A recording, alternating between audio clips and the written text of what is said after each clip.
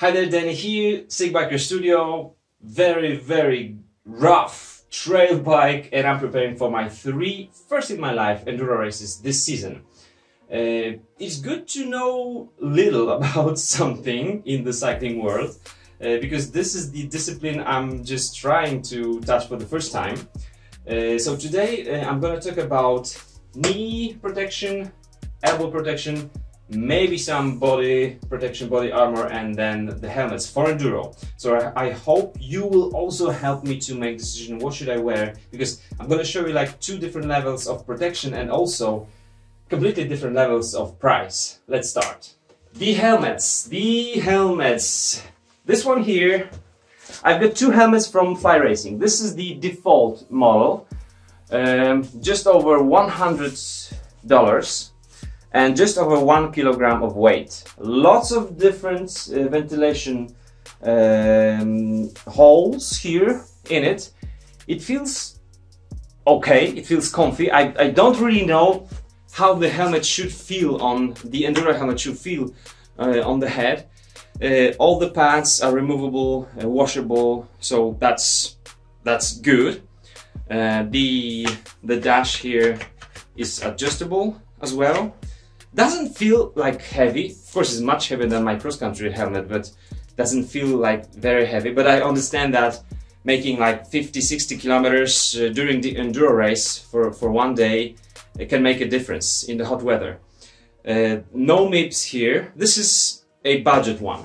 The second one we've got is the also Fly Racing Werx Carbon.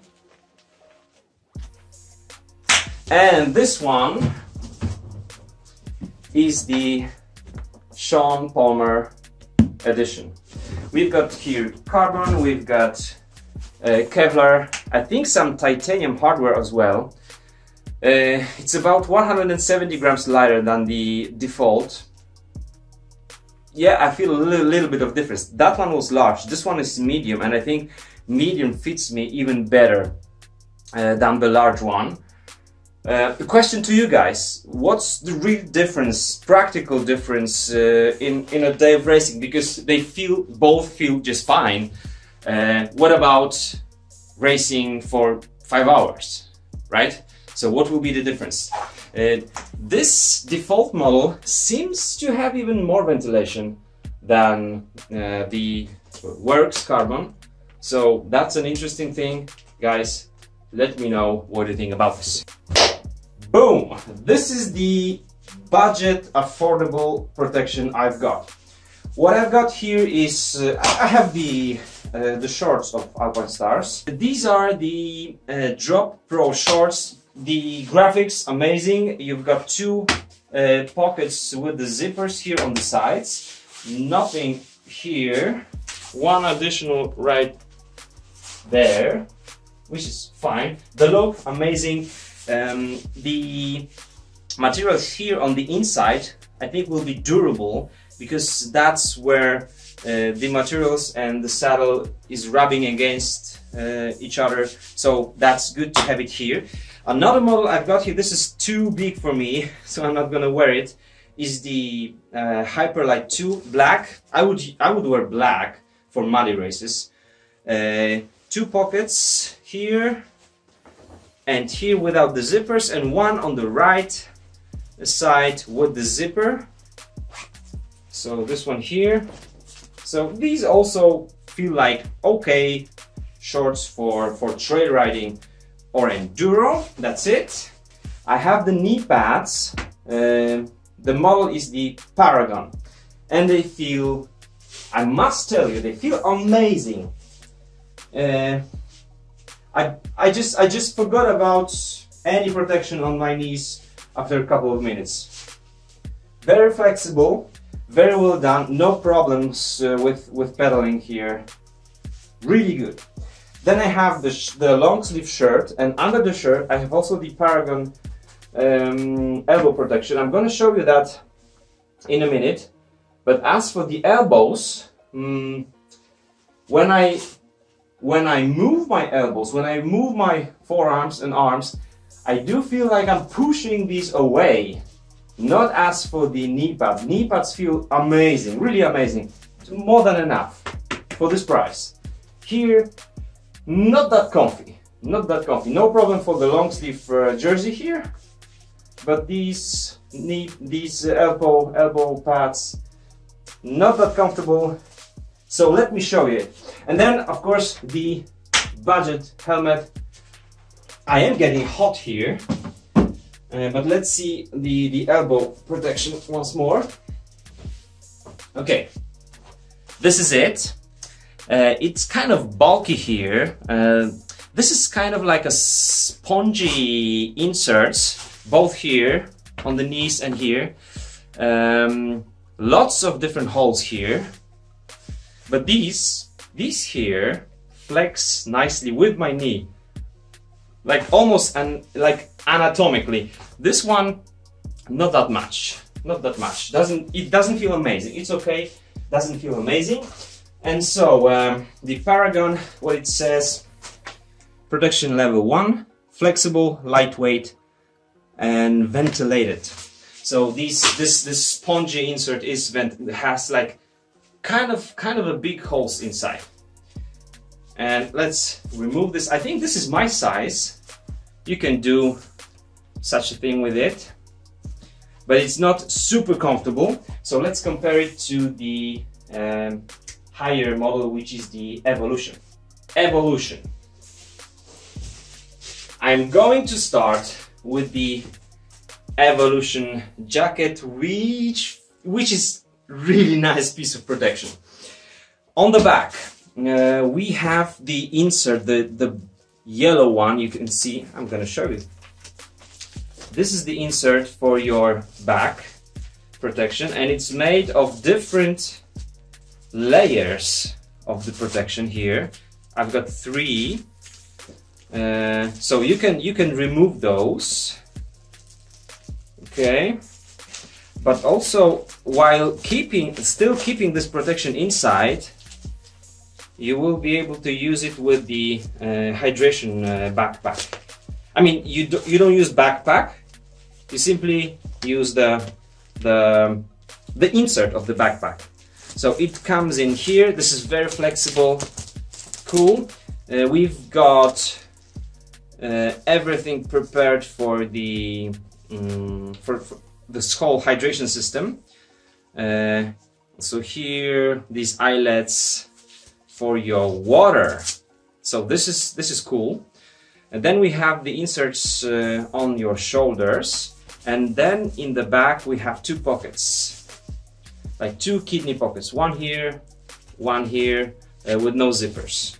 Let's put it on. And as I must tell you, this thing feels good. It does feel good. I don't feel like I would I would need some some more mobility here. This feels good. It, it really feels good. I'm not gonna say amazing. It feels good. I feel well in it. I feel protected. There's also some protection here, not very thick, uh, but it's there. So you can see like one, two, three. And this is just, just the material here, just the mesh. So that's cool. This is just one, one extra thing I want to tell you. I would buy this jacket, even for my level of racing and riding. This feels very comfortable and I feel that my back is protected. So this is, and this is also very, very versatile. You can do many things with it. You can have hydration, uh, two additional pockets, this protection. It's not cheap, but this is my body, uh, my health. This is something I would buy, but from the practical side, let me know, do you need like uh, drink more water if you if you wear this because you sweat more how comfy it is after hours and hours of use uh, let's turn to the to the pants uh, or maybe maybe maybe maybe in meanwhile why not use some cool long sleeve jersey for it cool I, I'm loving it I am loving it yeah, the whole movement, everything, everything is great. Uh, okay, uh, now we have elbow protectors. Uh, this is the left one. Oh, I should have it just underneath. All right, this is the left one. And this one works differently, not as the Paragon. This is the Evolution, right? So all I'm showing you is the Evolution line.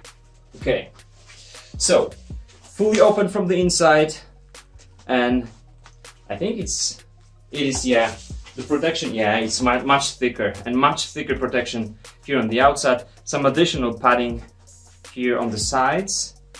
One, two, three, four. This is okay, but once again, this movement is not really super comfy, as on the knee pads. Alright, so let's put the right one.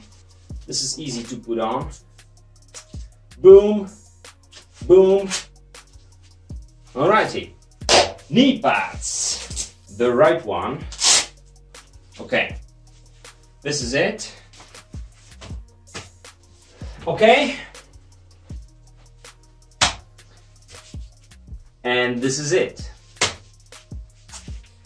This is how it looks like. Uh, comparing to, this is the Evolution, so I've got Evolution jacket, Evolution knee pads and, and elbow pads, and elbow protection. The difference is, I do feel that the Paragon is more lightweight, which is no surprise here, right? Uh, and for my use, I feel like for my first enduro races, where I'm not gonna be like slicing slicing through the trails, unknown trails with 80 kilometers per hour, the Paragon would be enough. I really feel so. Um, since the knee pads are also more lightweight on the Paragon line, uh, I would prefer uh, that ones. I, I would, I really would. And I think, I think that 170 grams difference with the MIPS, MIPS protection also um, can can be actually noticeable for for a whole day of uh, of racing. So that's what I feel, guys. Let me know what do you think because evolution. Just a couple of info here. Also, uh, protection level one, flexible, lightweight, breathable, ventilated, and then adjustable fit that one was cool. Maybe also because this was like the, the right size for me. But this is cool. And I think I would go for the Paragon. So now guys, please let me know what do you think if you race enduro, if you train enduro or some trail riding. In these, in these, let me know what would be like the real practical difference during my training and racing but that's basically it. Thanks for watching and see you soon. Bye bye. Ah. Guys, thanks for hanging out with me. Remember to join our forum.sickbiker.com where we discuss all the topics, uh, training, service, any issues with the bikes. If you want to share anything with us, join our Facebook group. All the links are below. And if you want to join my patrons, feel free to do so. And now, okay, you might watch just one or two episodes more, but then let's go and ride.